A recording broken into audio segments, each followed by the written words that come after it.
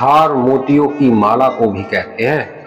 जब कोई इंसान हार जाता है तो उसके अंदर ये मोती प्रकट हो जाते हैं। परंतु वो बहुत गहरे पानी में बहुत ही अंदर जाके छिपे होते हैं। उनको ढूंढना पड़ता है। इस कविता में बस यही बताया गया है कि हार कोई बुरी चीज़ नहीं है।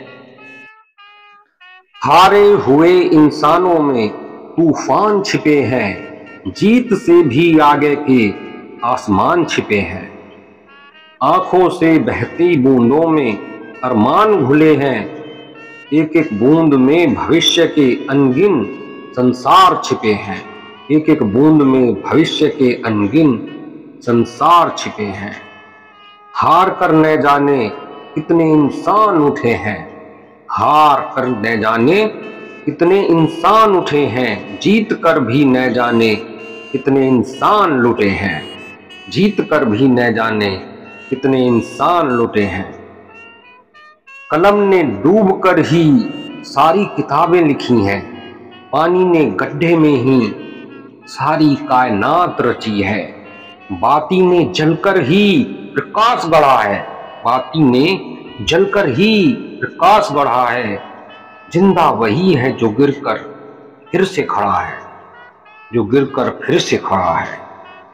शांत हवा में ही हर बार तूफ़ान उठा है तूफ़ान शांत हवा में उठते हैं शांत हवा में ही हर बार तूफ़ान उठा है।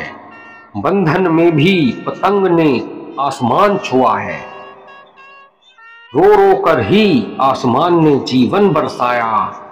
खुद अपनी आँखों से देखो हार की माया। हार की माया ये सब गन्ने से शक्कर बने पिलकर ही, सारी सब्ज़ियाँ बने, रसोई में छिलकर ही, धरती से खुदकर ही निकले मीठा पानी, धरती से खुदकर ही निकलता मीठा पानी, कोयल काली होकर भी बोले मीठी बाणी धुआँ ऊपर उठे, होकर भी काला शाह, हीता गिरकर भी नापे सारी राह। कपड़ा छिदकर ही बन पाता पोशाक। कपड़े में जब अनगिन छिद्र हो जाते हैं, छिद्र हो जाते हैं, तभी वो पोशाक बन पाता।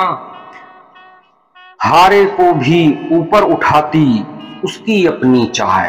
कपड़ा छिदकर ही बन पाता पोशाक, हारे को भी ऊपर उठाती उसकी अपनी चाह। मिटकर ही तो बीजों ने इतिहास रचे हैं मिटकर ही तो बीजों ने इतिहास रचे हैं। मिट्टी से ढलकर देखो कितने भगवान बने हैं। भगवान की मूर्ति भी मिट्टी से ही बनती है। धरती से उठकर भी आसमान छुए हैं।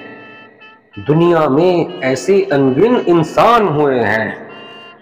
हार तो मोतियों की माला है, मोती सहज ही मिलते नहीं।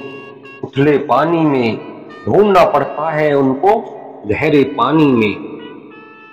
लो भीतर अपने उतर जाओ तो भीतर अपने उतर जाओ। हार से जीवन अपना उठाओ। कदम जीत की ओर बढ़ाओ, कदम जीत की ओर बढ़ाओ।